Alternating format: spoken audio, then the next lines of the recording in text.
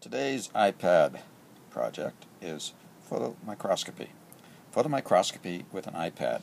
What we're looking at here is a small garnet on a Petri dish. I'm going to place the Petri dish onto a microscope. Here's the lighting setup. I've taken a, a common flashlight, uh, put it in a vise. There are other ways of doing it, but the idea is to get the light where you want it.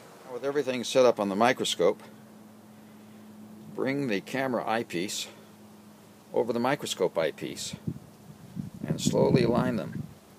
There is some difficulty involved in this step, and those more clever than I will probably make some sort of a stand. You'll find the exposure is off.